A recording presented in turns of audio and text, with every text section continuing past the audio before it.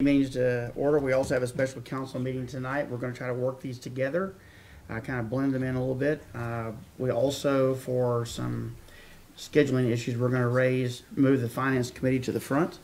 And so at this point, I'll turn it over to Mr. Haskey to handle his committee. We're gonna take number seven. Uh, we'll, we'll do that one, Justin, if that's okay. We'll pull it out in the special council meeting and talk about, since this is both areas. So you'll just take items eight, nine, ten, eleven, and twelve, and then we'll come back to seven. You're on mute still. There you go. Can you hear me? Yes, sir. Okay. Um, item number eight on the agenda is the self-contained breathing apparatus replacement. Um, Chief Isabel provided a staff report in the agenda to consider financing the purchase of replacement self-contained breathing apparatus with the Government Capital Corporation. Um, this item is a budgeted replacement of the fire department SCBA equipment. The current equipment is at the end of its life with many components expiring in March of 2022. The current equipment is 15 years old and non-serviceable. The annual payment for purchase cost not to exceed 44,000.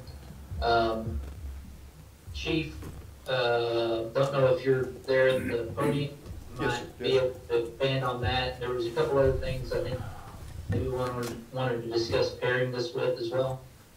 That's correct, uh, Mayor, Council, uh, Chairman Haskey. The SCBA replacement uh, request, or the financing for tonight is just for the replacement of our normal SCBA that we use on fires and hazmat and any confined space where we would have to breathe off the tanks. Uh, It is at end of life, and this was budgeted this year. we, as we prepared to bring the financing forward, uh, really in the eleventh hour, there was some realization that we are also preparing a cardiac monitor, the twelve lead monitor replacement this year as well. And there is some, uh, financial benefits to pairing that financing together, uh, specifically in the, the interest rate and the term. And we can do that and, uh, save uh, a considerable amount of money over the term of that financing.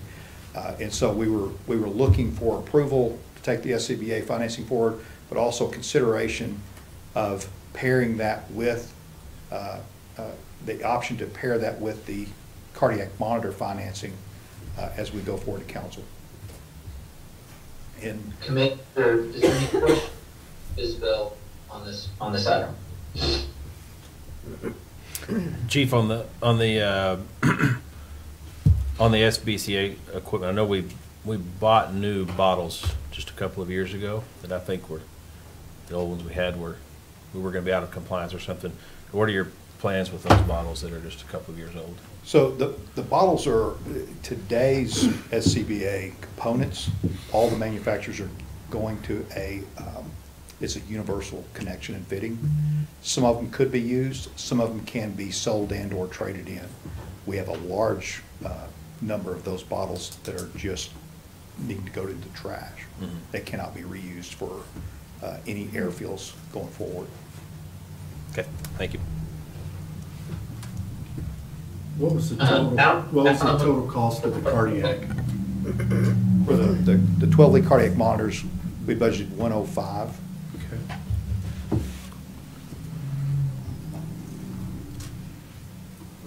Was that the total expense or the, the financing charge of the one oh five? Oh, we'll get Mon- Monica to help me out here. Um, the total expense was one oh five. Um, the financing, uh, piece of it would take our payments from forty-three, eight seventy-nine, twenty-six to sixty thousand, four seventy, eighty-one. What we looked at, uh, was doing the cardiac monitors, we would, uh, consider their useful life seven years instead of the ten with the SCBA, because they're a little bit smaller type of equipment. And so we, we got with our uh, financing company and, and checked, and so what they're doing is the first seven payments would be sixty thousand, four seventy, eighty-one, which would be for both the SCBA's and the heart monitors, and then the last three payments would just be the forty-three, eight seventy-nine, twenty-six, which would just be for the SCBA's. And We- you remind the committee, uh, what was the total budgeted financing expense on a net basis for this? That was put in the, We had over sixty-six thousand budgeted, uh, in, in the annual payments for it. For the two For the two of them, yes. and this would put it at sixty thousand, four seventy, eighty-one, is that correct? That would be correct if you chose the option to do both. What's the pleasure of the committee? Mr. Chair, I make the motion that we forward council a recommendation to approve the joint financing for both as presented. Second. Have a mo, second to approve. Any other discussion? All those in favor, please say aye. Aye. And opposed? Motion carries. So it'll go to council with a positive recommendation. Um, item number nine, um, the West Main Street Manager position. And, uh, Mr. Barnes, I'll turn it over to you, sir. Yes, sir, let me pull up my staff report. I'll wing it. Um, As you're aware, we were uh, selected to be a, the only Main Street city joining the Main Street program in January of 2021. We hired a uh, uh, Main Street manager who has recently left. Uh, We also uh, brought on for a very short period uh, Terry Colley, who was the assist, the former, who is the former Assistant Executive Director of, uh, of uh, uh, the Texas Historic Commission. And during his time, uh, I requested Mr. Colley to take a look at our, at our uh, program and make recommendations to improve it. Uh, In talking with him, the last time I spoke with him, uh, he advised me that he, he would recommend changing our pay level from the approximate thirty-eight thousand dollars, it was thirty-seven and change. Uh, Anyway, he suggested that we raise it to between fifty and fifty-two, uh, I'm sorry, fifty-two and fifty-five thousand dollars as a starting salary. Uh, I requested, uh, the salaries of the Main Street managers in cities about our size. Uh, That, uh, showed that, that, uh, Populations ranged between 20,070 and 28,851. The average population was 24,376. The salaries ranged from 45,3 to 69,000, with the average being 57,579. The average experience, or I'm sorry, the experience ranged from .35 years to 35 years, with an average of 6.9 years. The only salary in the salary survey that Mr. Thurman has been working on, his Mineral Wells, and their salary range is sixty thousand to eighty-eight, six sixty-eight.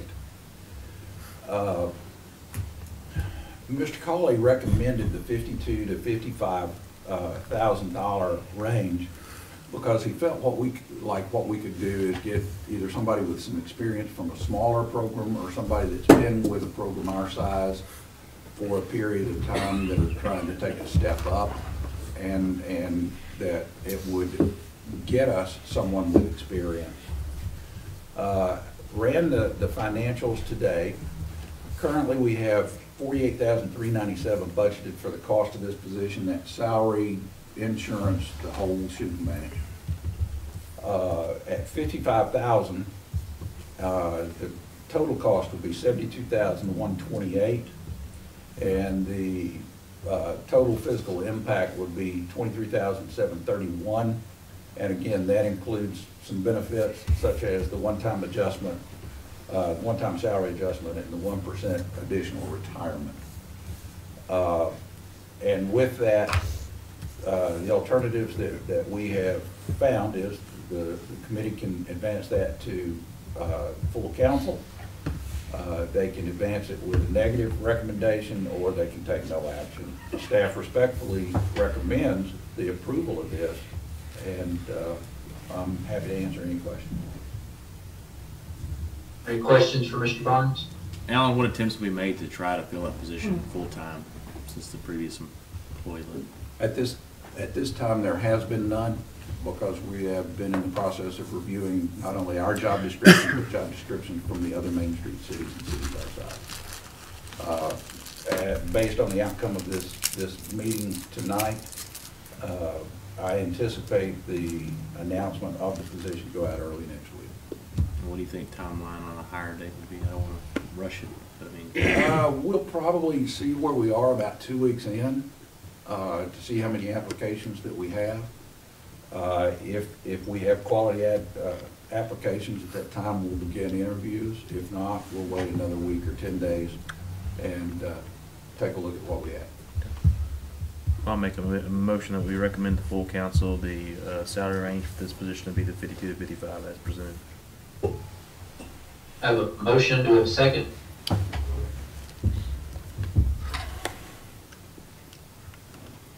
Second for discussion? Thank you. I'm looking for something here, sorry. I have a motion and a second. Uh, Further discussion on the matter. I was looking for something here. Justin, if you'll give me just a minute. Okay. Uh, While, while he's looking that up, I did think of a question, Alan, as far as the discussion. So the recommendation as far as the salary go, were there any other recommendations that uh, the interim um, Main Street person made as it relates to the description or responsibilities? No, sir, he, he did recommend that, that we review the other uh, job descriptions as provided by, by THC and to incorporate what we felt like would be a, a good fit for our community. There are other, there, there are other recommendations, however, I have not seen those yet as our Parks Director uh, has them and she's been quarantined with COVID for the past week, week and a half. What did you say the average was? Uh, According to THC, the average salary is fifty-seven thousand five hundred and seventy-nine dollars.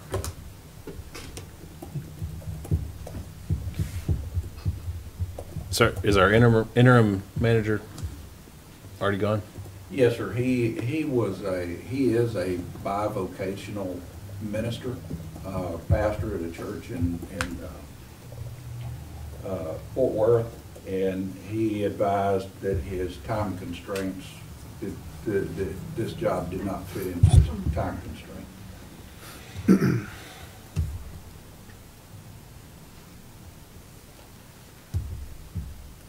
Finally found what I'm looking for, sorry.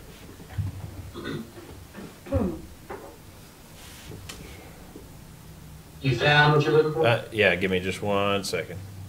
Okay.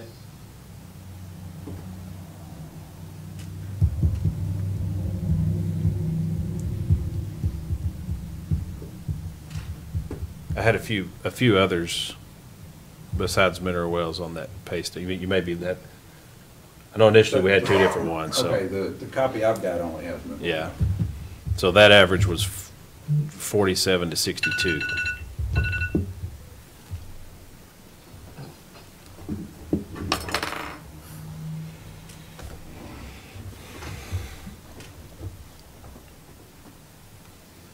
I, I guess my concern with that is we've got, s- we've got some very similar positions that are not that That would be high. my, that would be my question to the personnel chairman. If we've done a salary study, we've came up with these ranges.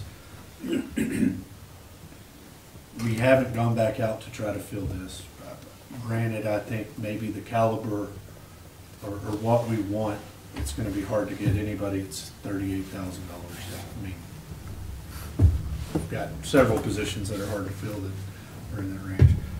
But I, I just, what does this do to our, to our salary studies that we've done and I, I don't know, that'd be my only concern. Well, and I don't think we ever did a salary survey on, we haven't done one since that position was created, so. Well, I'll tell you, I just think it's imperative we get somebody with some experience at this time in the position. I don't feel like that we're in a situation at this point with the program to hire somebody to train on the job. I think the only way we're going to pay for it. If we really want the program to succeed, and it needs to desperately succeed, if we want to see some changes downtown, that's the whole reason why we commit the resources to start the program. Not saying that there's not good young candidates that maybe don't have experience that could do it, but I don't think that's what we need at this point for this position. And I agree, we need, we need, the, the experience would definitely help with the position, because I feel like through whatever, it's been very rudderless through that position.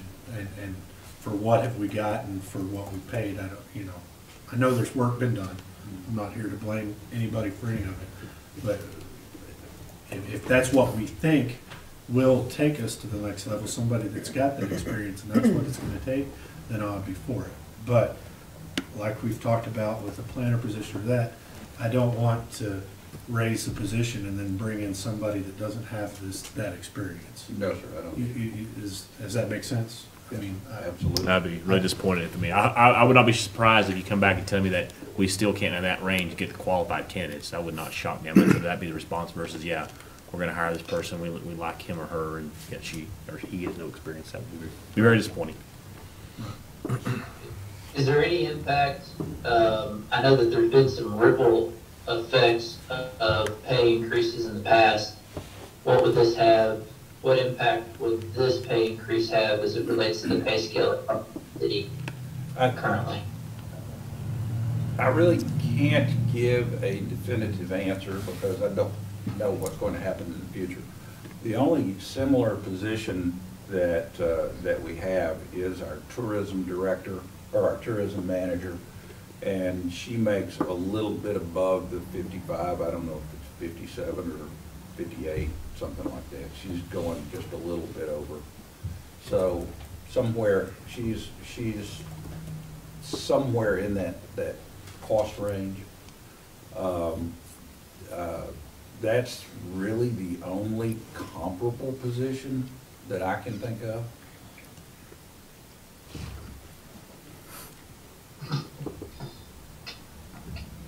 All right, any other discussion on the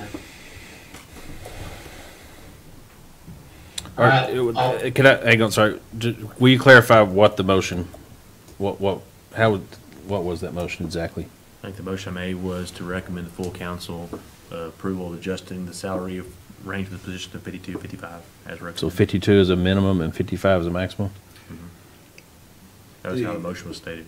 The fifty-five, um, when we hire somebody with a certain number of years' experience, up to five years, I think it is, or ten years, we can increase that salary up to ten percent, and that's what the fifty-five is, is the, is approximately ten percent higher than the, the fifty-two.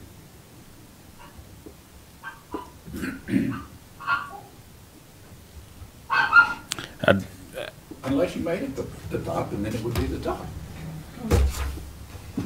Well, we're fixed to adjust all of this. I'm, I'm fine with the, ju- you know, we've got to fix the problem. I've just, Right. And, and that's the reason I say, if, if you want to make uh, the range fifty-two to fifty-five, and we'll decide what happens in the, the with the salary survey, that's fine. I just gotta, I I have a responsibility to get somebody in that position, and, I'll- and and I've got to have a motivated self-starter. I do, I, I do too. Uh, Have have a motivated self-starter. Feed that dog. Ah, And, uh, back right in the middle of COVID. Uh, What about forty-five? I need somebody, I need somebody with, with experience in this position. okay, I, if I can offer, uh, I guess make a motion to amend the, um, the minimum at forty-seven with a maximum of fifty-five. Second. Second. Okay, So we've got an amendment. The motion is recommending to council minimum forty-seven, maximum pay of fifty-five. Any other discussion? All those in favor, please say aye. Aye. And opposed, same sign. All right. Motion will go to, uh, recommendation. will go to You council. gotta, vote. you gotta vote on the original motion now. That was just the amendment. That was just the amendment. Yeah. Now we'll, the, got to go back to their actual original amendment, which is now modified or amended to.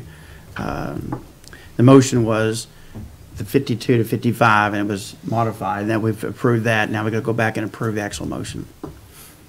Okay. So, Sorry. Any other original motion? Hearing none, all those in favor of the original motion, fifty-two to fifty-five, please say aye. Aye. As amended to 47 to 55. Forty-seven to fifty-five. As amended to forty-seven. Yep. Aye. And opposed, same sign. There we go.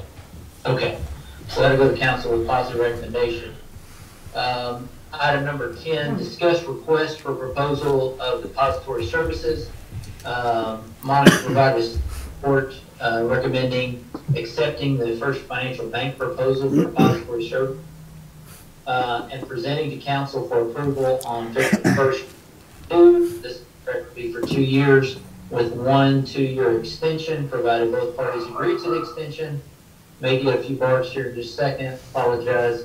Uh, requests for proposals for depository services were advertised on November the tenth, twenty twenty-one, um, and November seventeenth, twenty twenty-one. The city received the proposals from Texas Bank and First Financial.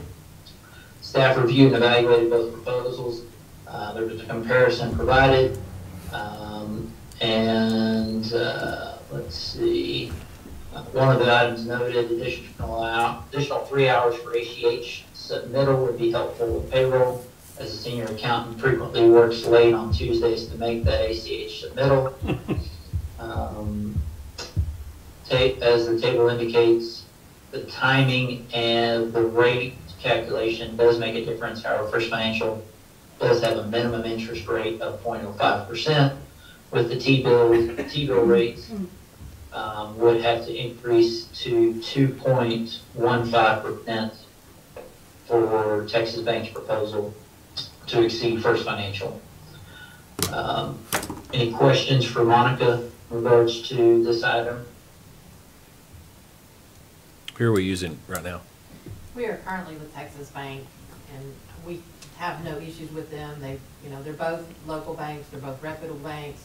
Um, a lot of the proposals are, are, they were saying, you know, neither one of them, uh, were gonna, they were gonna waive the fees, you know, just your, you know, standard banking fees, and, and, um, they had, you know, similar hours, and, and, you know, obviously they're gonna follow the rules for collateralization at hundred and two percent. It just came down to kind of the, the extended time on the ACH being a little bit better for our staff, and then obviously the, uh, interest rate was a, was a factor, so.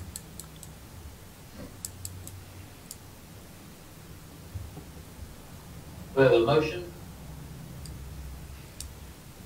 Uh, make the motion to approve the acceptance of request for proposal for depository services to First Financial Bank. Second. Got a motion and a second. Any other discussion? All those in favor say aye. Aye. And opposed, same sign. So that'll go to council with a positive recommendation to accept First Financial Bank uh, RFP. Um, Item number 11, over 65 freeze. Um, In the staff report, staff uh, respectfully recommends the committee forward the ordinance to the city council for their approval. Um, I don't have a copy of an ordinance, but, um, the background is, uh, over sixty-five tax-free has recently been approved by Erath County. Um, the state of Texas also gives cities the authority to grant a freeze of taxes for those residents over the age of sixty-five. Multiple, um, several of, of us have expressed interest in considering a similar measure. Um, currently, the school district has thousand sixty-five residences that qualify for the over sixty-five break for the school district. Um, we are waiting for a copy of a, I didn't see one in the agenda. We don't have a copy of an ordinance. Is that correct, Alan? Uh, That's correct. I've not had an opportunity to review it today. I got it this afternoon from Randy. I'll send it out tomorrow morning. Okay. Uh, we requested the calculation of the fiscal impact. I know, um, Ms. Carey is there this evening to answer any questions. Um, and I know that her office has, and the appraisal district has worked, um, with Mr. Thurman on some of these items or questions. Is there any questions by the committee on this item? What's the impact, Uh, well, I, I had, which we've got, right? the number I got from the appraisal district was that we have, currently have nine hundred and ninety parcels with a total value of hundred and seventy-seven million, hundred and seven thousand forty dollars that would qualify. And I probably have to just turn it over to Jennifer to talk about potential impacts. She- She understands that much better than I do. That, Appraisal district's giving you the values. Correct, right, that's the value, that would be our Value's base value. freeze. It's tax dollars that freeze. Mm-hmm. So If you don't mind, it- all the people watching this one, because this, this works, so why don't So- you, so you don't mind, that- get up there and speak about At, at our current, at that current valuation, at our current tax rate, that's seven hundred and eighty-two thousand, eight hundred and thirteen dollars in revenue. That would be locked, And that's what, that would be that would be the number. the frozen number. that would be the freeze, Right. but since you're looking at it in the calendar year of twenty-two, it would be based on your twenty-two tax dollars. It's not going to be based on any of the tax dollars that we know of at this time for anybody that is over the age of sixty-five. Um, you also offer, the statute for school districts is the freeze is on over sixty-five and disabled persons. So you, as the city, and us as the county, have the option to do one or the other, or both. Um, the county chose to only do the over sixty-five accounts. So you, the city, offers an over sixty-five exemption of fifteen thousand, and you also offer the disabled person exemption of ten thousand that gets deducted off of their taxable value on only the home sites. So if you have twenty acres, and I better use twenty-five, because you can homestead up to twenty. Uh, if you have twenty-five acres, it's cheaper on you to keep the nineteen, or I should say twenty-four acres in ag, and the one acre as your home site. But some people opt to have the whole thing. Granted, the uh, people that have one hundred percent disabled vet exemption, because they get to freeze everything.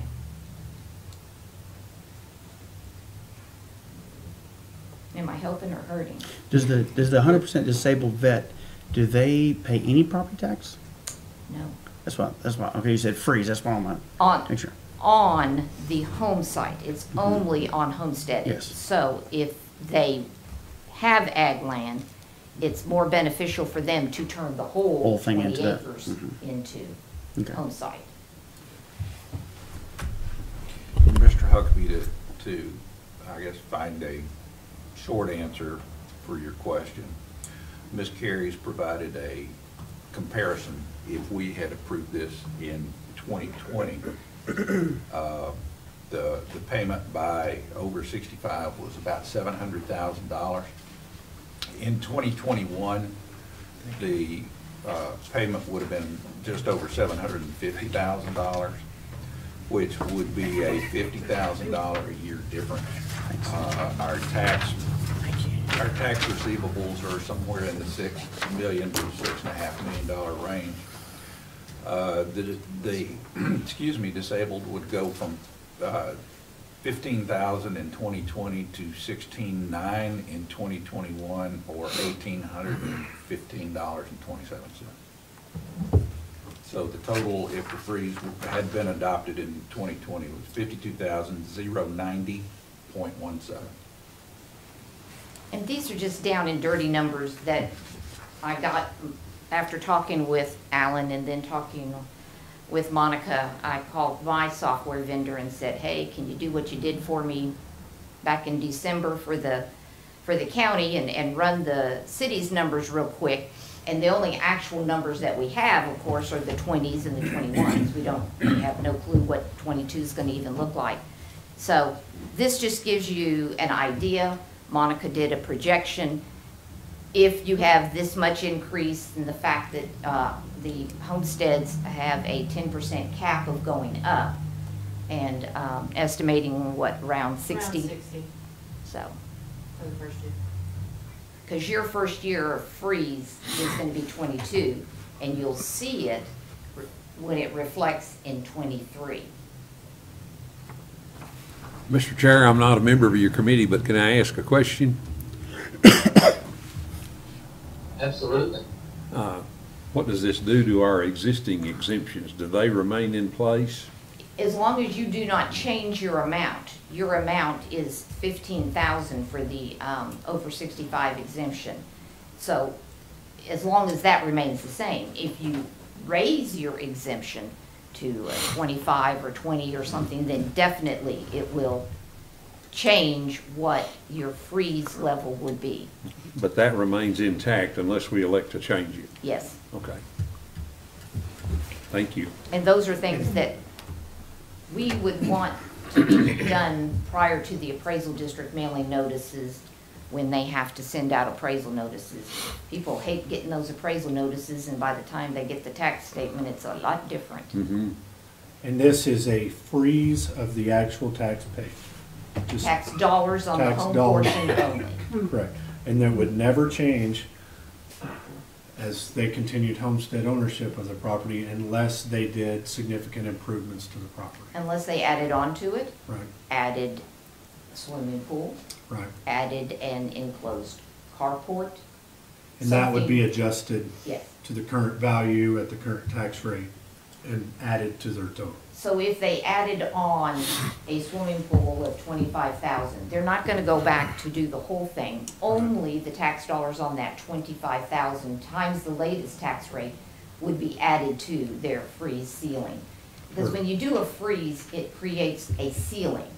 So as we've, I don't know how much of you have seen the, the tax notices in the, in the past couple of years, but with school taxes that have had the freezes for quite a few years, um, the ones that don't have a, a bonded indebtedness or anything so that they're paying on, um, as the state legislature mandated and their tax rates have been dropping and the values have not really been changing, some of the people have wound up with less school taxes this year than they paid last year.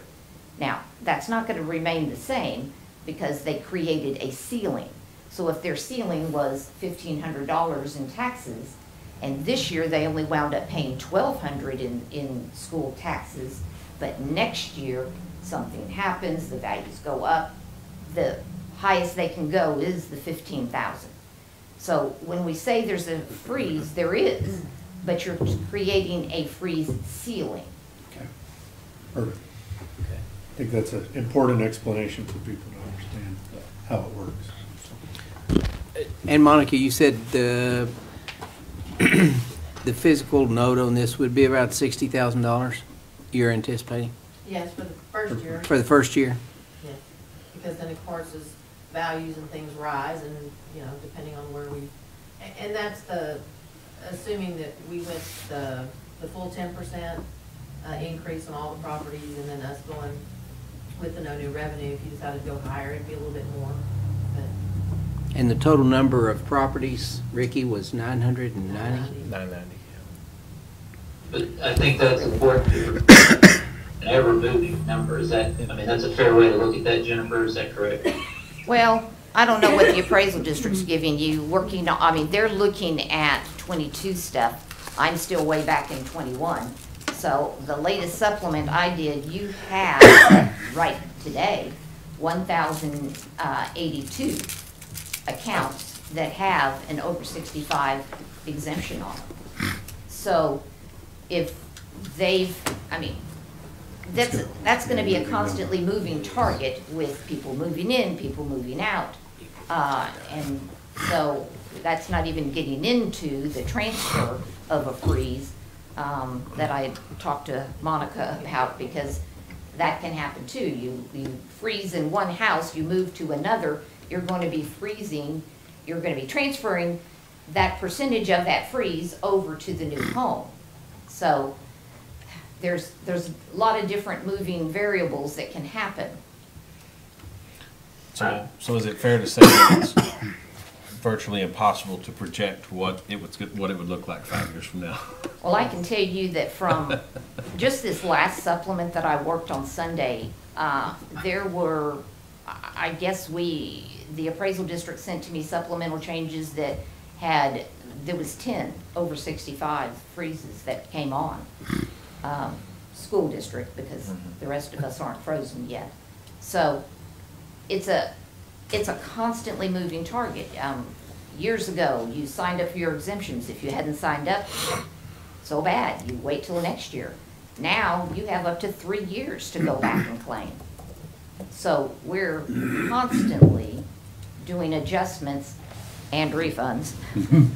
And Jennifer hates refunds, but anyway. So it's, it's a moving target all the time. It, it's, it changes. So, um, for a school district, um, if I just had to add an over sixty-five in two thousand nineteen, that created a freeze. And so I had to adjust the twenties and then the twenty-ones, because it had to go back to what that ceiling was.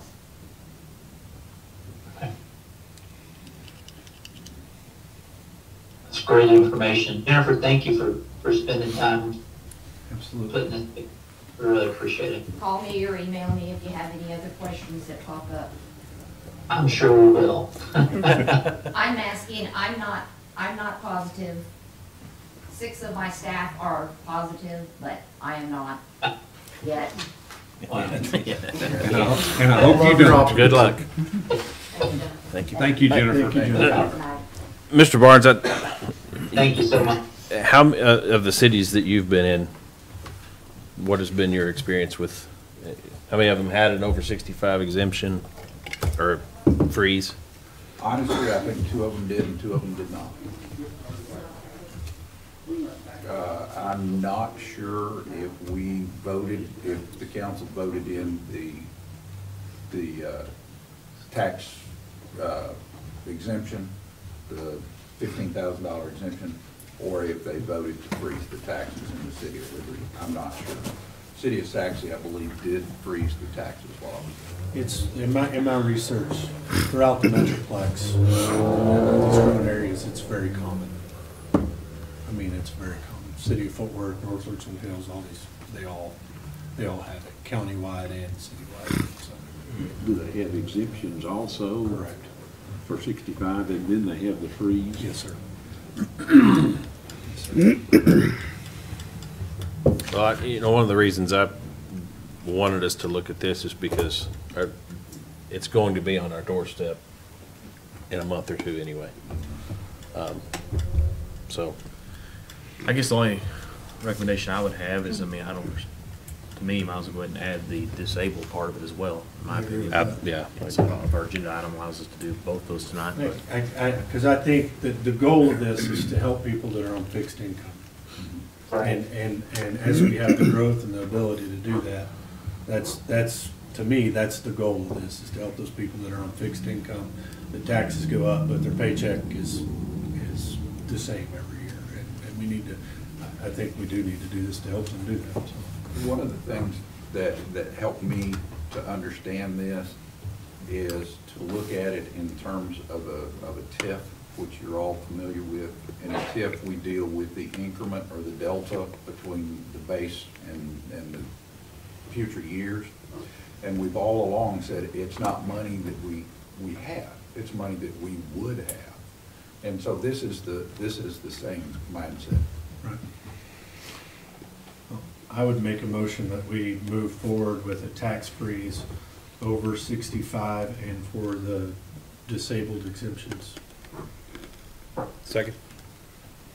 A motion and a second. Any other discussion? All those in favor, aye. Aye. Opposed? All right, motion carries and a positive recommendation to council. And item number twelve, the issuance of certificates of obligation. Um, staff is requesting the finance committee recommend moving forward issuing certificates of obligation to council for approval on February first, twenty twenty-two. Uh, proceeds from the issuing bills um, will be obligating twenty million dollars for water, sewer, and related infrastructure, and two million for park improvements. Um, a timetable as a part of the attachment questions have also arisen regarding the refunding of the Series two thousand thirteen GO bonds. Uh, the GO bonds cannot be refunded by issuing COs. However, state law does allow for the issue of refunding without an election. Uh, essentially, it gives us the option to do the issuance of both the revenue bonds and the GO as a package deal, but they would be two separate issuances. Would save on issuance costs, um, taking them to market. Uh, There is a, a substantial uh, fiscal impact of refunding those 2013 GO bonds to the tune of $400,000 um, over the term of those bonds, depending on which, which method of financing we chose. Any questions or discussions for Monica on this?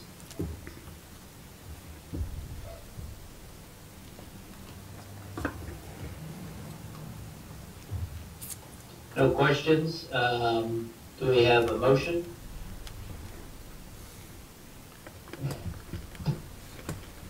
Am I frozen, John? No, we hear you, we hear you. Um, I'll make a motion, why not, that we recommend to full council the, um, uh, issuance fee obligations, let's see, best way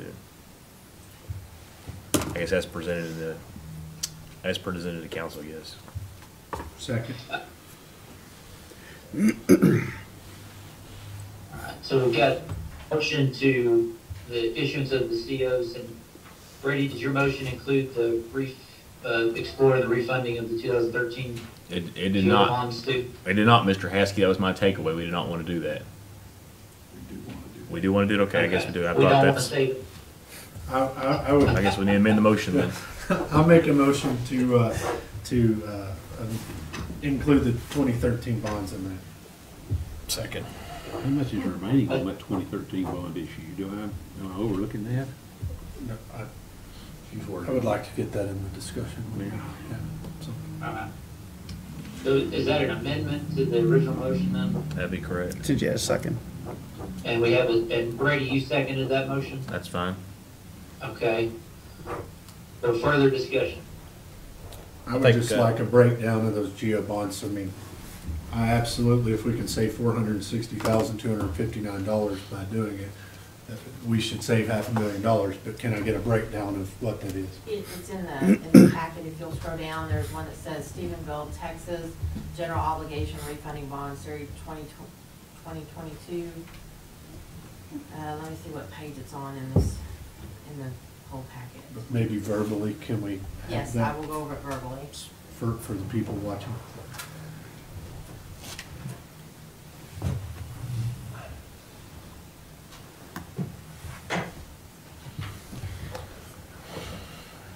We have a payment coming up in February, and of course, we'll have to pay that, but um, what we would be refunding, um, the debt service would be just over uh, 4 million, and then the, the new refunding debt service would be uh, 3.5 million, and so uh, you're looking about 460, 259 that we would be saving on uh, interest and being able to do that, and that it's, it matures in uh, 2033. That bond has an average uh, coupon rate of 3.76, and they're looking at a um, uh, uh, true interest cost on the refunding is 1.45%. So Yeah, that's, it's a fairly significant, a huge Saving. savings. so. And, and we, uh, Mr. Barnes, if, if you want, I I think we kind of need direction on whether we're looking at a 15-year, 20-year, or 25 uh, debt issuance. On the POs? Yes, please. It was my understanding, coming out of Thursday's meeting, that, that it would be a twenty-year. I mean, I think that was the term that was discussed. That's kind of the number, I wasn't I at that so. meeting, so sorry. But, um, yeah, that's kind of what our. That's what fits in with our rate structure and how we did everything, That's correct. planning for this, because we're not raising any taxes, we're not doing anything for this. It's part of our rate structure that we've done. Sure. That allows us to go to market to get today's prices to do these projects. Sure. And, and would, that did not include the potential two million for parks, correct? It does. It does. It does. It does. Of course, that's a separate funding source. To, Right. to clarify the uses, uh, the proposed use so far is to, uh, Oh, I see it, I'm sorry. Perform our, our well field work. That would be uh, drilling five additional water wells uh, that will service our community for, for decades to come. It would include the infrastructure necessary on the five sixty-eight, or five sixty-three, sorry about that, whatever it is. Uh, It would uh, include the transmission line back to the airport pump station.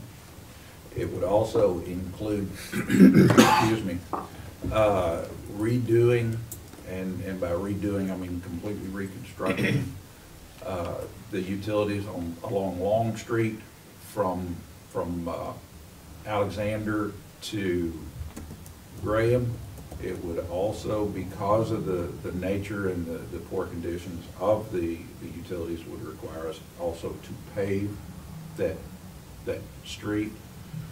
Uh, and everybody's favorite, uh, anytime we do major construction work, we do have to make it ADA compliant or Texas accessible, accessibility compliant. And all of those costs are rolled into the estimates on that, on those projects. Uh, There may, we, we've estimated these on an inflationary scale based on, on what we understand should be done. And any additional funds, it, it will be worded that any additional funds will go to fund water or sewer, uh, projects elsewhere in the city. And again, these are user, they're already paying for them on the water bill.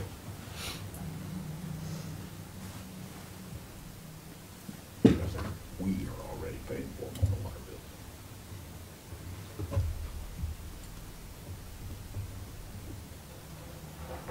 bill. Did you say the third item was the east side sewer? No, sir. Uh, We worded it, or we will word it to where it- it will be discretionary uh, for the council. Uh, We've, we've said water and sewer projects throughout the community. Uh, Some of it very well may be phase three of uh, the east side sewer. There may be some budgetary, already budgetary numbers assigned to the east side sewer that, that may, again, leave a residual amount of any bond, or CO proceeds. And That's strictly because we don't know what phase one's gonna cost us. We don't know what phase one. Of of the money that we've, we've already. Correct. Haven't been able to bid it yet. Correct. Right. So we Uh, may have some savings out of there that can immediately go to the phase three portion. Yes, And sir. that's why we need to leave this. And, and we have allocated some funds in the budget to also go to phase three. I feel relatively comfortable that we should be able to cover most of the cost of phase three, if not all of the cost of phase three. Let's do it. Any other discussion or questions? Okay, so this is the vote on the amendments. All those in favor say aye. Aye. And Opposed, same sign. And then the original vote, or the original motion As as amended. amended. Um, All those in favor say aye. Aye. And opposed, same sign. All right. Mr. Mayor, I think that equals all of the items on our co- finance committee meeting this evening. Thanks, Turn it back sir. over to you. Uh, Ms. Durfee, you want to go to tourism? We have some visitors that need to leave, I understand. Okay.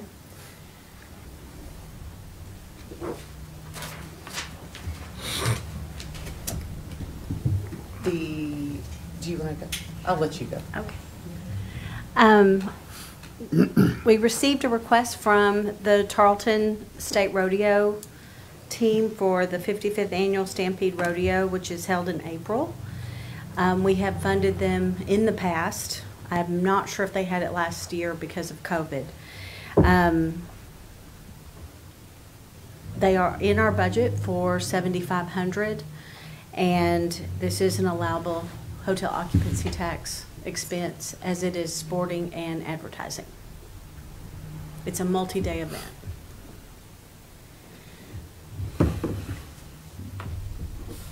Just a couple questions real quick, if I know, yeah, this is kind of a carryover item, as I want to put it from back in the chamber days. Um, I guess as we've been servicing this event for a couple of years now, I mean, is there anything that Tarleton provides us with to verify that they're filling hotels?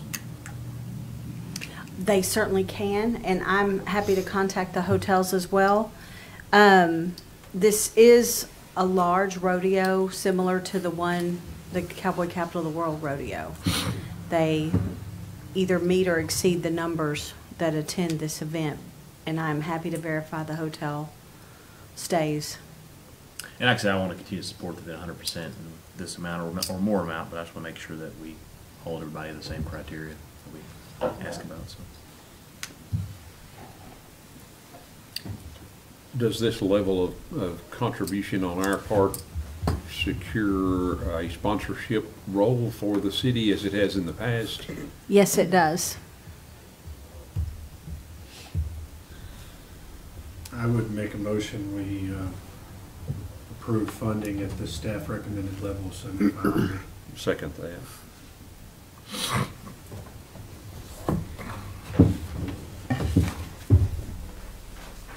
So I can get a vote. All in favor, say aye. Aye. All opposed, same sign. Okay. And then our next one is about the Moolah Fest. Staff met with Charlie Diggs, the promoter who's doing the Buckles and Bugs, last month to explore the possibility of their taking over the event and hosting it at the Stephenville City Park. Um, we wanted to explore the possibility of doing that and also offering a title sponsorship in lieu of underwriting the entire event. um, we saw some value for him doing so and uh, having more experience in hosting festivals than, than we do. So um, what is on the table is a title sponsorship for this event. We put down a number similar to Buckles and Bugs, but we can explore any number for that. Is, is that the extent of the city's contribution, They will provide all staff. security, et cetera? They like to work with local police departments for that uh, in other cities. So there will be some, but not to the extent that we've, as far as overall city staff that we've provided in the past. Well, There's been a huge input of, of staff time before, during, and after, I think. And it- that's why I asked if this was going to be the total extent of our contribution. It, it will not completely wipe out what city contributes, but it will definitely free up our city staff so they can focus on other events like July 4th and sports Do we- things that they have almost in the same time period. Do we think the format with the event will be the same to what's been years past, or are we gonna try to reinvent the whole event, or is he just gonna mirror the one event he's hosting a couple months previous? or- I think the only difference, main difference will be the, he will fence the park and charge an admission fee. But um, the balloons will still be there, the musicians will still be there, the food trucks. It will have the same feel uh, as our other event has had.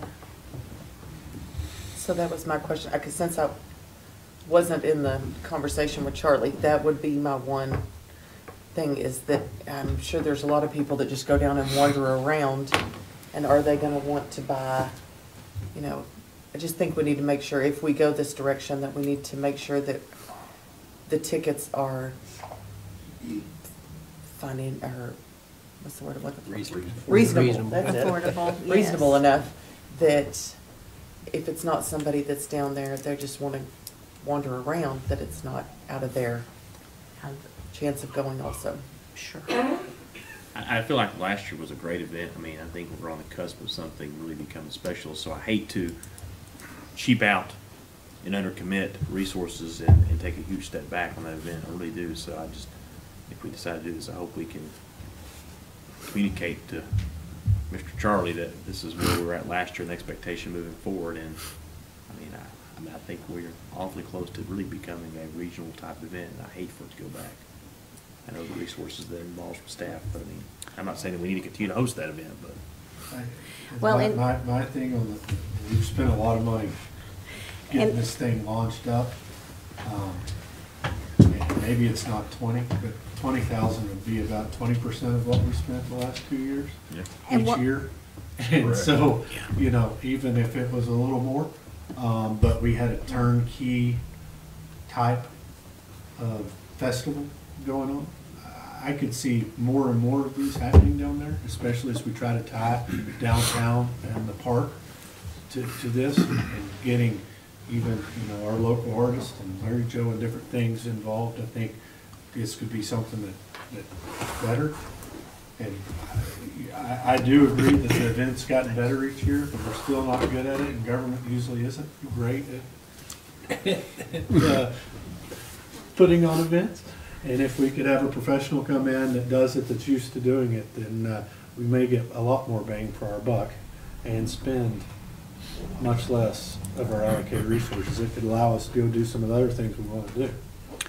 Another point that he brings to the table, uh, he can bring larger name bands and better I've argued musicians that than. For a long time. It's, we've, we've got to change, and I think you see that with this, you know, some of these people we've had, or probably all of them we've had before that's come to this, but I think that's something that is very important part of it. If I might ask a question. Um, This is a one-year commitment, correct? Is that what y'all talked about with, uh, with uh, the, uh, I believe so. We didn't discuss We- it. Yeah, we didn't really discuss the, the length of time. okay?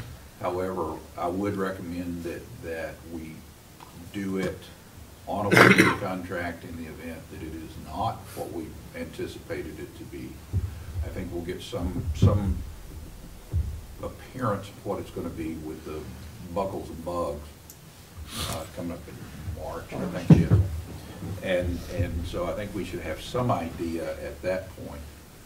But uh, what, the, the advantage that I see in doing this, and I'm sorry to step on you there, Julie, but, but the advantage I see is, in the event that this is a short-term thing, a year, two years, five years, our staff will have the ability to watch how it's put on, take pointers from, from the professional, and, and perhaps reach the, the regional festival that was spoken about earlier. Right. Twenty thousand dollars is the total amount?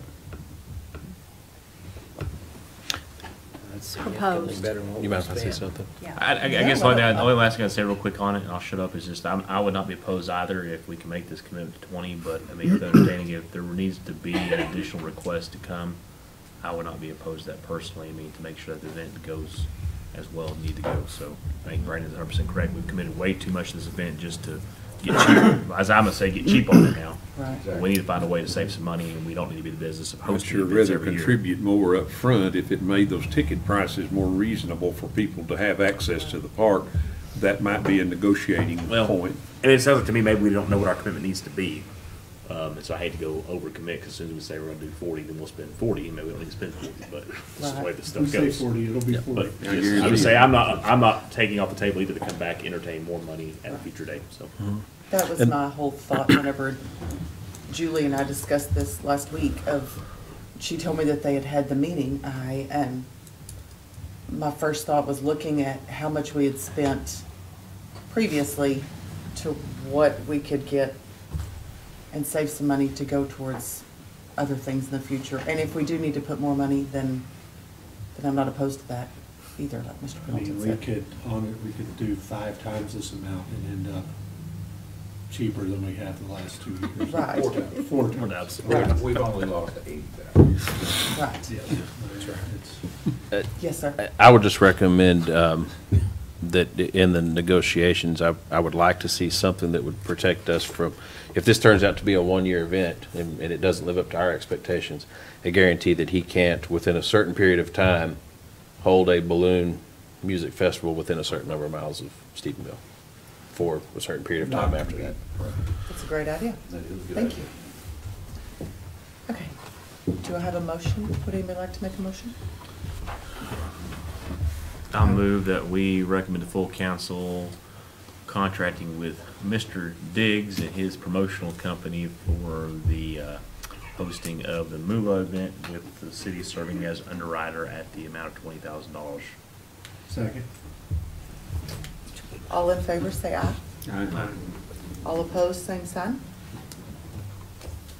Okay, Thank you. that's all I've got. Mr. Cook, we'll do Thank you, items Julie. three and six nominations. We'll come back to four and five in, spe- in our special council meeting. Okay, that's fine. Uh, First, we'd like to have a, we have a report from the uh, Main Street Advisory Board. This is kind of an overview from their design review. Uh, Rita will, uh, uh, Rita Cook will uh, give this report, and there are some pictures that go along with it uh, that uh, will be uh, posted here, and so, uh, Rita, it's all yours.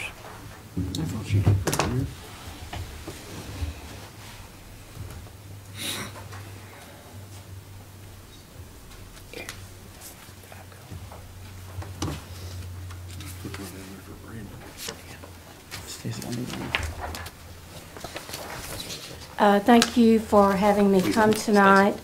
Uh, I'm the chair of the Design Committee for the Main Street Program, and the purpose of the Design Committee is to uh, support a community's transformation by enhancing the physical and visual assets that set the commercial district apart.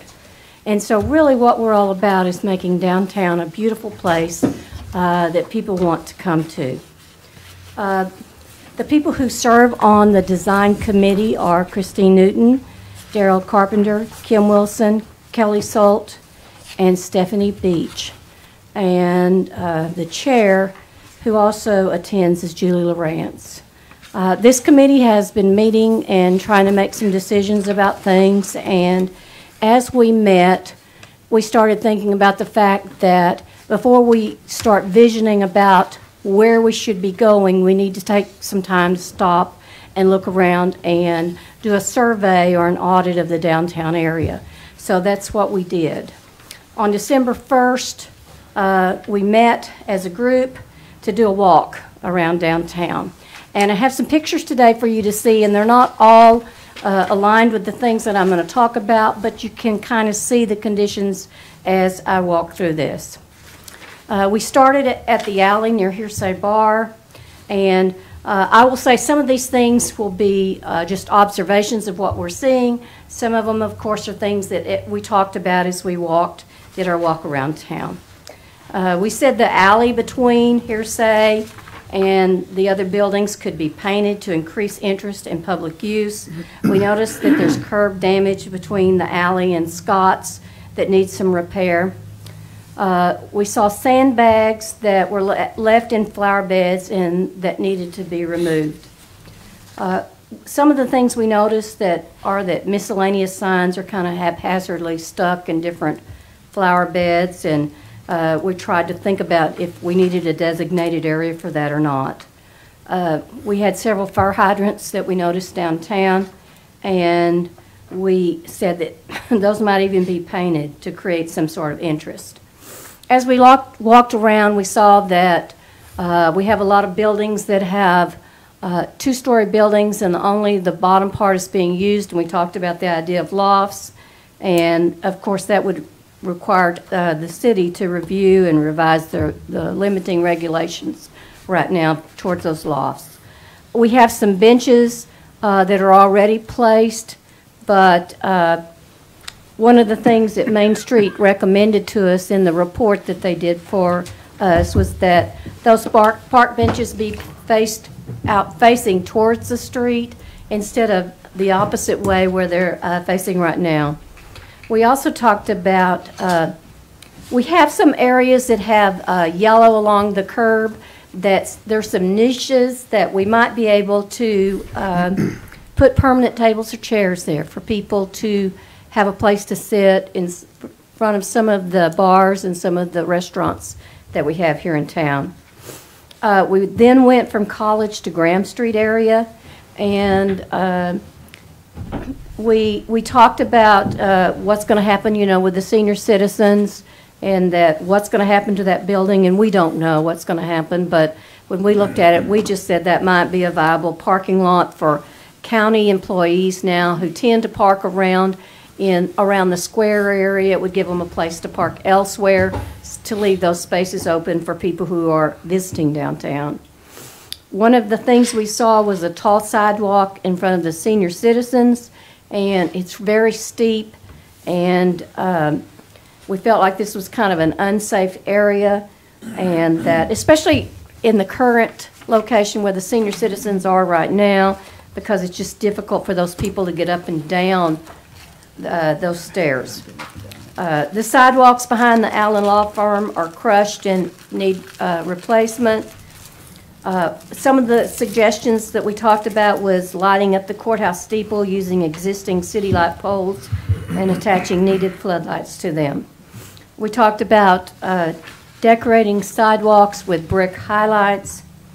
And uh, one of the things we saw was at one of the corners, there was a, a post uh, uh, that was just sticking up in, at the corner of Graham and College. It's cut off, and it's just sticking up in the middle of the sidewalk.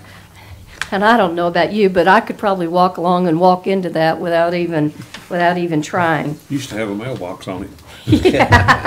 We talked about, uh, we talked about uh, placing some more benches and some trash cans. We have trash cans around town, but maybe placing some on every corner.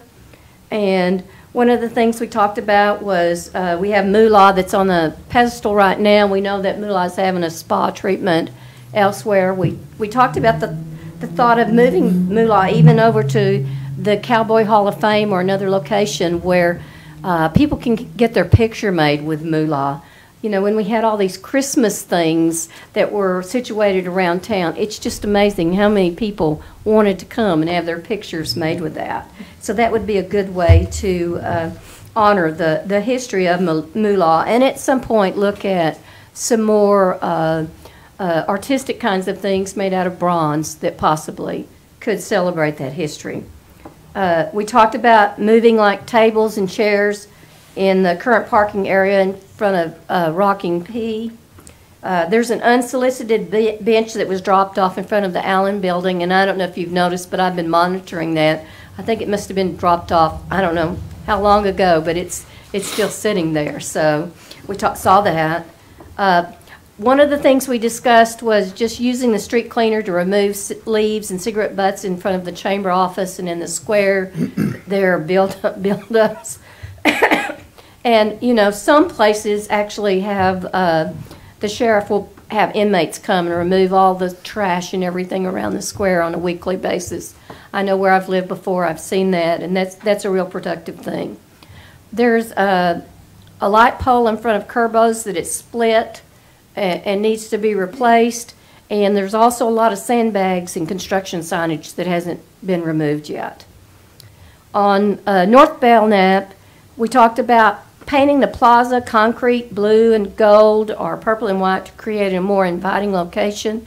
That is really a, a great asset for our community and one that we feel like we could utilize better. Some of the beds around the trees in the plaza have, they need ground cover and a lot of the plants are dead and the irrigation lines are actually sitting on top of the ground as, as you walk past there. Um, there was a partial brick pathway that goes across a flower bed, and it, it was just kind of falling apart, so if anybody walked across it, they might, they might stumble. So we talked about that. Uh, One of the things we did talk about, and this was just, you know, as we walked, you know, we were dreaming about what we could do.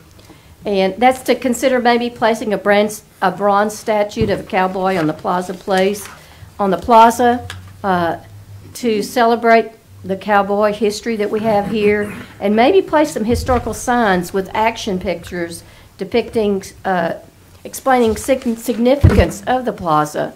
We all know what the plaza's about, but I'm not sure that everybody who comes to town knows what the plaza is about. And maybe even a wall that names all of the world-class cowgirls and cowboys in this area. That would be amazing. And I think we would have a lot of support from the, the rodeo folks who would be excited about that.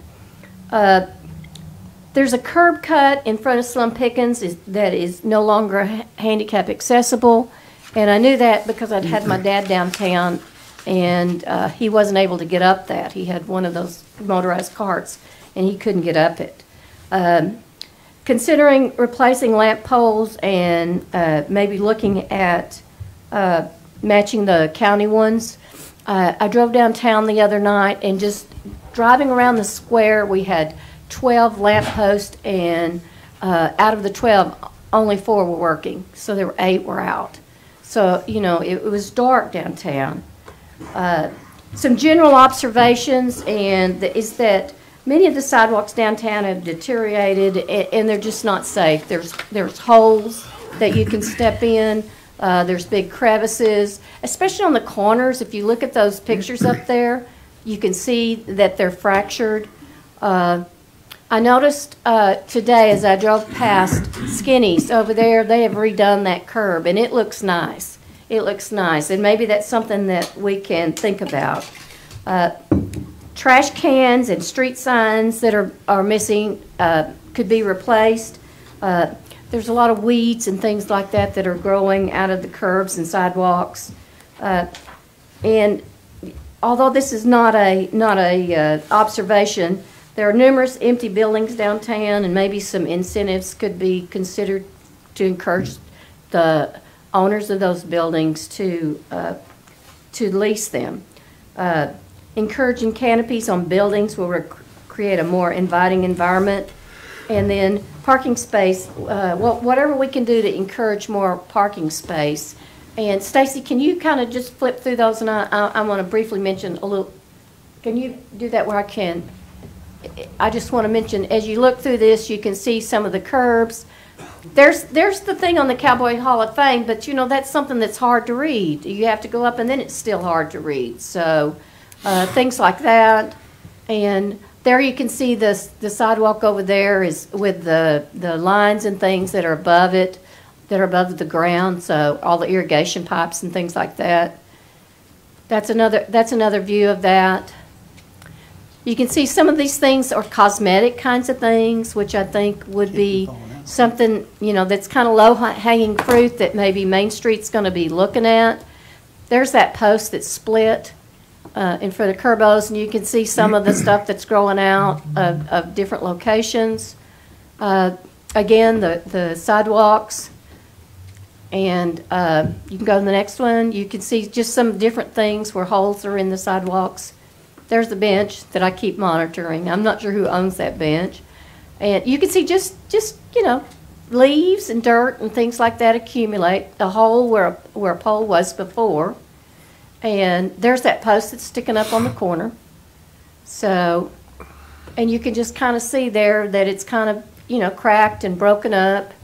And, uh, again, just not, and there's a steep, I think that's the steep steps there, the senior citizens.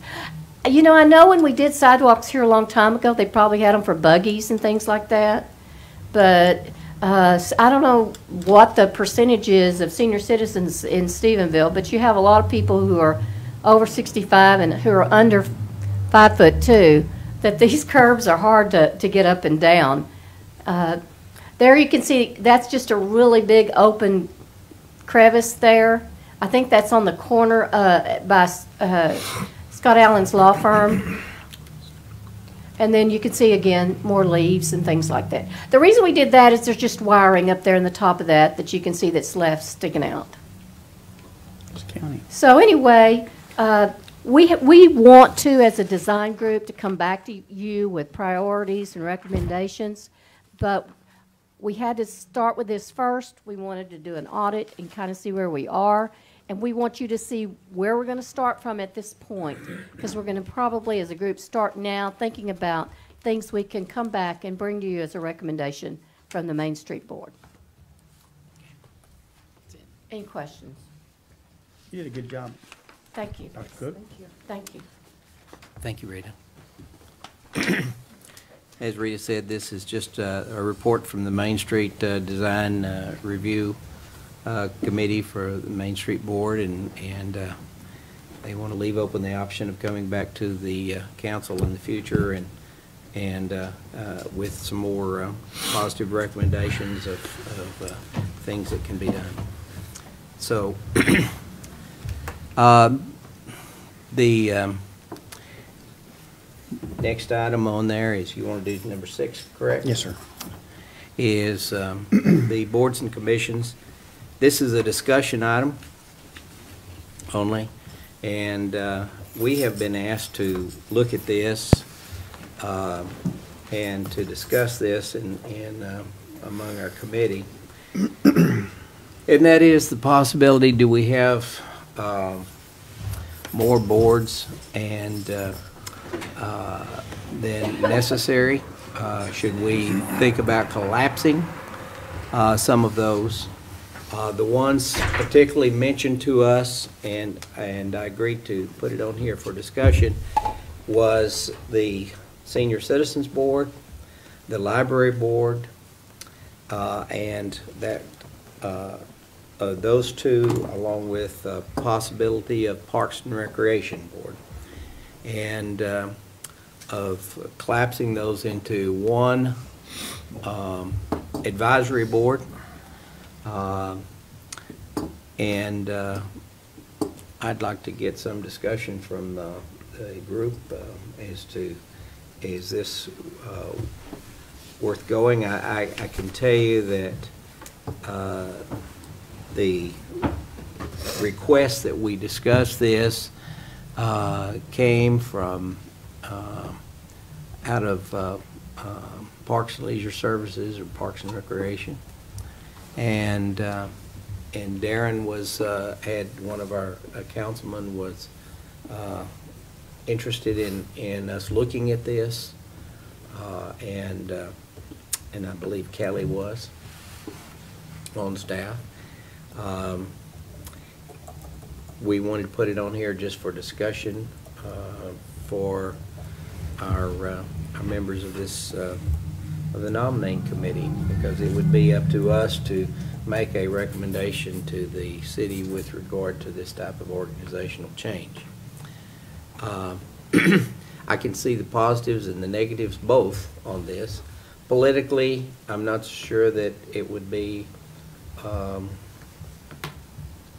uh, it, it, it may be somewhat difficult to do, uh, simply because of, of, uh, we've had these boards in, in, uh, in place for uh, a long ter- period of time. Um, Practically, uh, the fact is that it uh, could uh, work to an advantage if you had one advisory board. Now, one of the things that um, and you had representatives from each one of those entities making up that advisory board. And say you pick three people from senior citizens, uh, three from the library, and three from Parks and Recreation, and, and they all become the leisure, leisure services advisory board. Uh, That is, uh, that's something, uh, that's a possibility. It's a different way of doing it. Uh, You could also take just two of those, the Senior Citizens Board and, and the Library Advisory Board, and, and combine those two into uh, one uh, similarly. Uh, We could do nothing uh, and leave it as it is, as a matter of fact. And that's, that's, I don't see a problem either way with this. But if there's any that'd like to comment about this, I'd like to hear it. Did Darren have any thoughts on what the advantages would be of combining them specifically, or? Uh, We can ask him, is Darren still on? Darren, would you like to comment about that?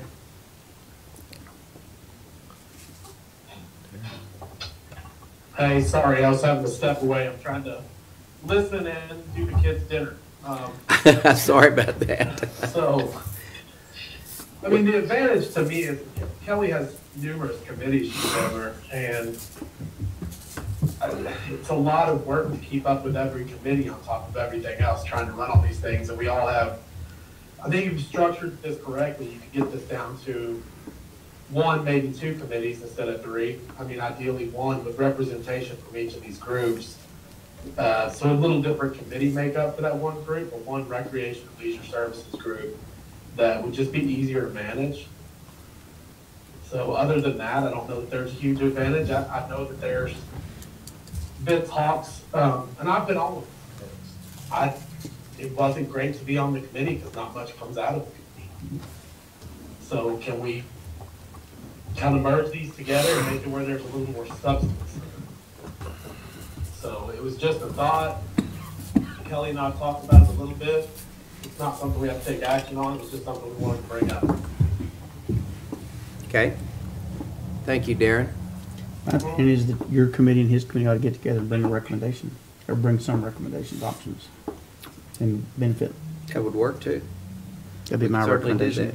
What, what's I- feeling? I can say it there, I mean, that's a, that's a big task that Kelly's got to prepare for in addition to preparing for council committee meetings, uh, from a preparation standpoint, and, and giving each of the advisory boards the, the, um, you know, to, to his point, you know, it- is this, you know, uh, I've got another meeting, so to throw something together and not really anything comes out of it, or can we, can we really focus our efforts and really get something done effectively? Um, I guess there's always that sense or that feeling of, of of power, but, um, at the same time, I mean, uh, I guess that would be our responsibility to make sure that whatever is written in the new ordinance that adopts the advisory boards, um, we, we avoid that concentration of power, and- but allow for effective, um, effective meetings that have effective and positive impacts on the community services that we're providing. Justin, as, as a matter of fact, and, and you're right about that, I believe, the, we put together, I mean, and we've probably had these things since day one, uh, in the city, but, and these are advisory boards for the Senior Citizen Center and for the library and for Parks and Recreation. And if you look at the, at the ordinance that created these, and you have those in your packets too, uh, frankly, it, it uh, indicates that these are supposed to be advisory to the council. They're supposed to present ideas on programming and on activity and, uh, and so forth in that particular area to the council, uh, and make recommendations as such as to, as to what direction they're going. And sometimes we get it, and sometimes we don't. And most of the time, we don't, I might add. Uh, We'll just get it peripherally. So I would, uh, I think maybe the mayor has got a good idea here, that perhaps we use this opportunity, and, and Darren, if you would be willing, and to meet, and we will have a joint meeting of the, of our, uh, of leisure services and, and, uh, and our nominating committee, and we will discuss this and see if we need to take this any further. How do you, how the rest of you people feel? Yeah, I I think that's a good idea. I think the point of bringing it up tonight was just to get feedback from general, you know, from everybody on council and see where they wanted to take this and if there was interest or if we just need to let this idea die. So if we want to take it forward, I think, you know, we've got to flesh out a lot of things within this idea to make it work. And, you know, I don't want to just cancel one of these and, you know, I, I want to have a plan going forward so these people can continue to serve out some of their time and then we can phase this in maybe in the next fiscal year or something like that. So I, I think sitting down and talking further with, with people would be a good idea. I guess my hesitation is that one committee or another feel like that they have been left out and, and don't feel like they're adequately represented or a- adequately represent the, the group that they intended to, be it seniors or park or library or whoever, if there's a way to meld those together so that they all feel like they're equally representing the group that they chose to represent, I, I don't know that that's necessarily be negative, but that may prove to be very problematic to do. And you're, you're absolutely right, and it's probably the only way this could happen. And uh, truthfully, uh, but if we, if we start now and we start working with the different boards, and, and, uh, and even bringing them together, uh, they're all under uh, Darren's uh, uh, committee in leisure services, so we would have representation from those uh, in, in meeting together. Mm. So that would be, uh, it looked to me like it'd be a good way of us. Might- Might be the best way. At least further the discussion, you know, Right. and it may come out and we don't do anything and, uh, and everything, but it will at least mean that we have looked at it Mhm. and, uh, and everything. So, okay? If I- that's I know these agreeable are- to you guys. These are volunteers, but some of them are quite passionate about their field. Uh, yes. Is that safe to say? I think that's very safe to say. We, we agree. I Okay? think if you took a poll of some of these people, though, they would feel like they're very underutilized because of the way we've got these things structured. Yeah. So I think we can strengthen that. I, I'm just not a big fan of, this is the way we've always done it, let's continue to do it this way. Let's look at a different way and see if we can find a better way to do this so that we can be, you know, more responsible with Kelly's time and how we, how we move forward with these things. So I think we can find a better way. There's a better solution. We just gotta, we gotta sit down and talk about it and flesh it out. I think Yes. that's absolutely right. Well, and I think that in this direction is uh, maybe the right way to go. Mhm. Okay? I agree. I agree. We, okay, we all agree on this, Darren, so get ready, we'll, uh, we'll set it up with you, okay? Okay. On our, our Parks and Leisure Committee and Development Service Committee, we've removed those agenda items from tonight, so the only item we have left is I will adjourn the city council committee meeting and convene city council special council meeting and go to item, agenda, item number one. Mr. Barnes, is that you? I guess it is. Uh, Mr. Mayor, members of the council, uh, tonight you have a memorandum of understanding between the city of Stephenville and Erath County, Texas. Uh, It's for the running of the uh, uh, vaccination center that we had during uh, the first push of COVID. Uh, The reason for this MOU at this point is, is that for, our agreement originally was to split 50/50 with the the county, and we would do the reporting to FEMA. Uh, What FEMA has instructed us is that we have to have the MOU in order to get them reimbursed, and that's what this is. Is that your recommendation? Uh, Recommendation is to approve the MOU. Is there, uh, do I hear a motion? So moved. Have a second? Second. Have a motion and a second. Any further discussion? If you'd vote all in favor, say aye. Aye. Same sign opposed, motion passes. Next item, consider removal of a member of a planning and zoning commission. That'd be Mr. Cook. Mr. Chair, we, uh, this was on our agenda to discuss at the, uh, in our nominating committee. Uh, Can we go back to that and do that, or, uh, because the committee hasn't? We can, we can discuss it as a committee, but we're in council meeting now. I was just, I was instructed that we used to take it straight to council, so let's, you can, let the committee take over and discuss it, and if you have a recommendation from the committee, then do so at that time. Uh, The, uh, okay, we will, we will do that. The, the, we have a member of the, of the council that we would recommend uh, that uh, they be removed. Council? Um, excuse me, the uh, planning and zoning. Gotcha. And it's an alternate number two in the planning and zoning. And, uh, and would recommend that, uh, that um, uh, place be vacated. It is presently occupied, or we, this council approved uh, Corey Jenkins for that particular uh, position, and we uh, would recommend that that, uh, uh, he be removed and asked to uh, uh, reapply at some point in the future. And, uh, and that would be uh, my recommendation to the, uh, to the uh, committee. Because of a failure to attend. No, sir, because of a little legal problem. Okay. Um, I'd like to know how the committee feels about that. I support that. I do too. Okay. Could I hear, can we take a motion here, or are we, are we okay with? Well, I, we're in the regular council, so all it takes, I, I'd just say you take it for advice from your committee, and then at that point, you can make a motion if you'd like to. Okay.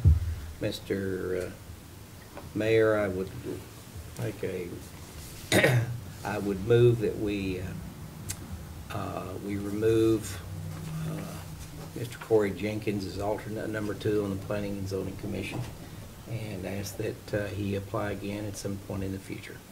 There a second? A second.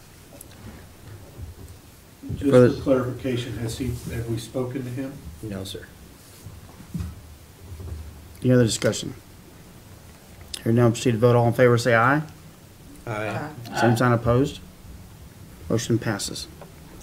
Next item is yours as well, I believe.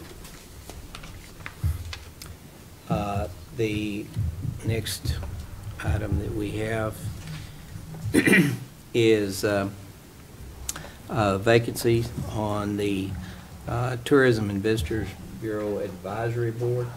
We have one person, frankly, from the, uh, that is eligible for that, represents the hotel. Uh, And um, we would uh, recommend that, uh, and here, I, if you'll forgive me, Stacy, I have lost that sheet of paper.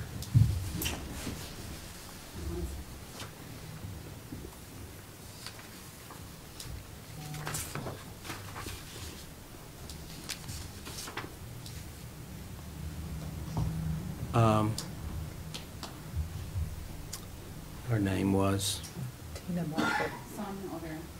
uh, Alvera, Sonia Alvera, and she's, uh, she is the only one that has applied.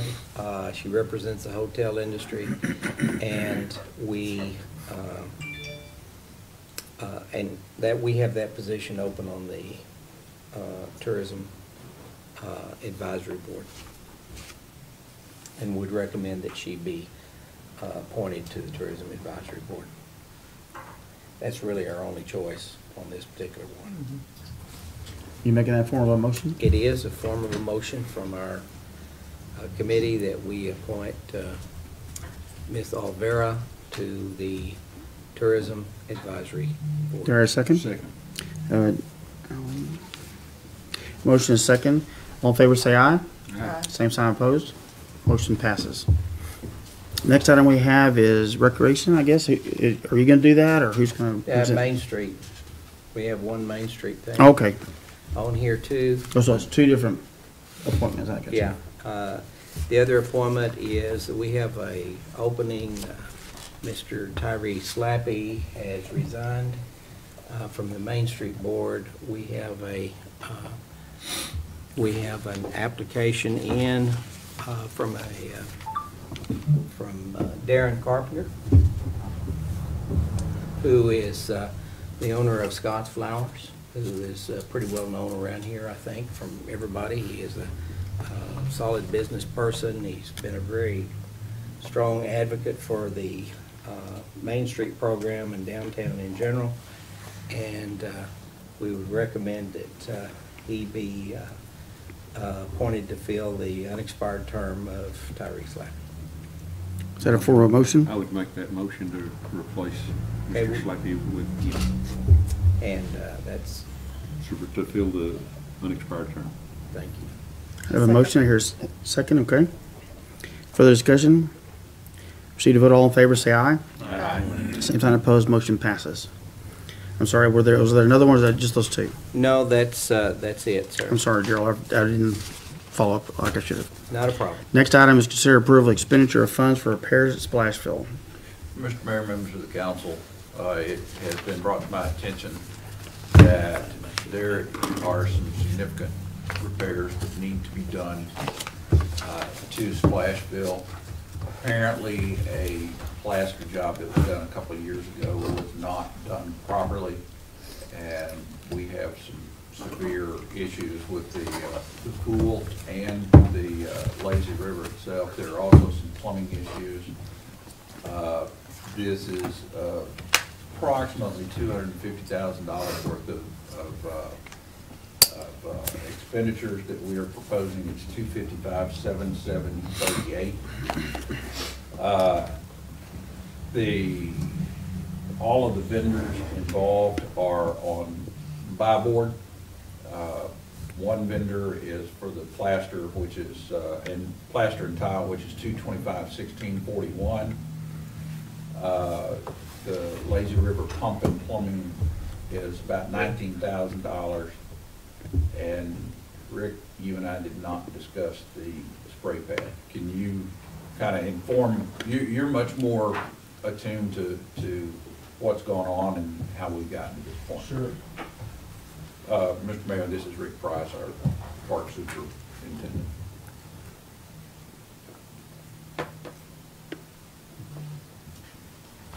Okay. So we sent out to two different vendors, uh, two well-known vendors in the pool industry. One was Sunbelt, one was Progressive. Uh, Both responded, and like Mr. Barnes said, both of them uh, gave back quotes that are on BuyBoard. We found during the, uh, during the quote session on this, that um, in some instances, one gave better quotes than the other. And uh, we had uh, gone with them and uh, we had combined the lazy river and the pool together uh, for the quote. But there were other things. There was the, the plumbing for the sump pump, or I'm sorry, the um, lazy river pump located on the south side of the pool. And uh, there was also the splash pad. Um, The splash pad on this, uh, both gave uh, quotes. One was thirty-six nine ninety, and the other was eighteen two oh four. It was my understanding that Mrs. Wotipka had uh, included all these into the original total amount for the repairs. Um, The pools are not the only problem, there's problems with our decks. Um, The the weather stripping that's between the cracks um, is deteriorating, and it's, what, what's happening is water's getting in there, moisture's getting in there. Um, And when we have very cold weather, we now have expansion, and we end up having cracks and things happen to our, our pool deck. So in the um, totals for the pool and the lazy river amounts, we've included up to a thousand feet of crack repair uh, for those pools. Is that included in the total that you gave us, Alan? I believe it is, sir. That is, in- is all total? Yes, sir. One last question, one question I have is, you mentioned earlier that the problem was that part of the plaster or whatever wasn't done correctly last time. How are we gonna make sure it's done correctly this time? So that, I asked the it same might not question. have been done incorrectly, Doug. It was, last time it was a patch job. So we did not replaster the entire pool last time we did this. Okay, That was, that was a partial repair. This is to replaster the entire surface of the pool. all right, thanks, Darren. Will this be a, a warranted procedure? Yes, sir, there will be one. Other questions? Who did it last time? I don't remember the I committee. uh, think they, I don't know. Not part of this bid, I'm though. not sure. that there's- Not part of this bid? I don't know. No, sir, no. They, we, we had some difficulty, I don't, I don't remember if they went out of business shortly after the repair. I, I just remember there was some big convoluted difficulty to get them back. Darren, you want to have some comments? No, I mean, I've been out and looked at the pool several times, um, with Kelly, and, I mean, this is, we, we kind of only have two options at this point, and it's either to do these repairs and get the pool back up and going, or we probably wouldn't be able to open the pool this summer just because of how extensive, uh, some of the problems are with the pool itself right now, so, um, the water's getting down underneath these pockets, and it's just gonna continue to eat away at that pool finish. So it's only gonna get worse, and, I mean, I think we have, it- we built it, and we own it, so I think we have a duty to repair it and maintain it. Anybody else have any questions? I I would just, I'm curious as to why this is suddenly an emergency with emergency funding, a problem that was known. I understand there weren't bids quite ready until budget was almost finished, but we knew there was a problem, we knew it was gonna be expensive. Why didn't we earmark something in the budget so that we don't come into this with a, if you don't do it now, you're not gonna have a pool this summer, and back everybody into a corner. I was unaware of the, the problem during the budget proceedings. Uh, When I found out about it was probably a month or six weeks ago. I think that's probably the biggest problem I have. It's, it's a quarter of a million dollars on a problem that I have a pool, it didn't start overnight. Correct. And, and the lack of oversight, it- and Splashville's a good, I mean, the lack of oversight that we've had over there is extremely disappointing. And it's been extremely costly for something that doesn't make money anyway, to then have to come out of pocket two hundred and fifty-five thousand dollars to even open. It's ridiculous. I, I understand the two options. You can't, you can't have spent millions of dollars to have Splashville and not open it, but to have to come because of lack of maintenance and lack of taking care of, comes to two hundred and fifty-five thousand dollars.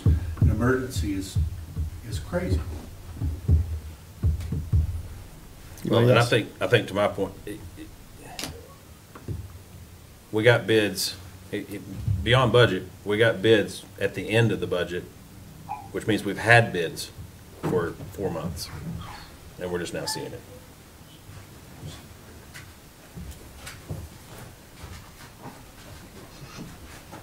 That's not entirely true, sir. We did have conversations about this during our budget process. We didn't know the extent of what the issue was. We began getting bids back during that time, but they've been working on them for the last several months, trying to finalize them and get people out here and different companies and those sort of things. So it wasn't completely unknown. It was, we didn't know what the scope of the entire problem was. And Rick and his crew uh, have been trying to get their finger on that, working with these companies. Uh, But we did begin these discussions uh, last summer, late last summer. Anybody else? What, what are the, the general overall conditions of the other pumps, filters, operating equipment, the overall condition of the facility itself? They've worked the last few years and, and been making some improvements there in different places. We repainted a bunch of stuff last year. Uh, they've replaced pumps and different things as, as they wear out and need to be replaced. Uh, I, I think this one, uh, Mr. Huckabee kind of hit it on the head. It's just a, it's a lack of maintenance over the years. And when it was first noticed, we tried kind of a, a discount attempt at fixing it. And now we're paying for that. We put a Band-Aid on, on a severe issue. wound. Yes. This is a significant amount of money. Yes, sir. And I'm not, I'm, I'm in favor of spending it because I feel like that's a facility that we need to have open. But we certainly need to be more mindful of, of the maintenance and care in the future so that, you know, we can keep up with it at a little, a little easier pace and a little more affordable pace perhaps. No, I absolutely agreed. I think we probably need to fine tune our annual maintenance plan for that facility to ensure that we don't, we don't end up here again. Right, and I, that's why I ask you, I I know we've been doing maintenance on it and, and trying to keep up, which we need to do with everything. This is not an exception to that, but we need to, we maybe need to focus a little more on having a maintenance schedule or something that we try to adhere to to keep, keep it a little closer, uh, within budget and, and then be able to budget for it also. Yes, sir. And maybe our rates and how we're even running this thing. Because if it doesn't pay for itself, it doesn't pay for itself every year anyway. No. It operates at a loss as is, and then to come spend two hundred and fifty thousand dollars on it to even open it, so we can lose money this summer on it. The one fortunate thing is we don't have debt service on it yet, right? That's correct. The debt's been paid off. Yeah, That's one good will- thing. I- I will defend Kelly on this. I think Kelly has got better practices in mind to keep this up. I think she Well, this inherited clearly a wasn't, this clearly lack didn't of happen supervision. overnight. No. Yeah, I don't So, think we- I'm not, I'm not, I'm not attacking anybody, too. clearly didn't happen No. overnight. No. Well, and I just want to make sure and defend her. So, I mean, I, I, I know that she's got in mind the right course of action to keep this thing up and going. And I think she's a little, it's hard to know what to do, because when you go out there and look at this, I mean, you're missing tiles all over the pool, and that stuff didn't happen in the last year that she's been here. You're missing tiles, you've got cracks, you just got so much general maintenance that hasn't happened. And so for her to get that stuff back on course, I really think she's, she's making strides to get these things back, and it's just unfortunate that it, it's gonna come at a two hundred fifty thousand dollar price tag to get this back. I think from here, we can really fine tune how we do this in the future and how we maintain these things. And I, I think we'll be in a much better place. Other discussion? Do I hear a motion? I move we approve the expenditures as presented in the presented amount for the Paris and Splashville. Second. Second. Have a motion second, any more discussion? Proceed to vote, all in favor, say aye. Aye. Same sign opposed, motion passes. That's the last agenda item. Stacy, is there anything else that I'm missing? Okay, it's the last agenda item, so we're gonna stand adjourned at seven eighteen. Thank y'all for coming.